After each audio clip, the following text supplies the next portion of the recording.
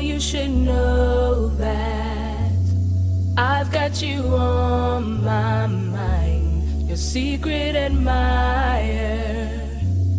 I've been watching.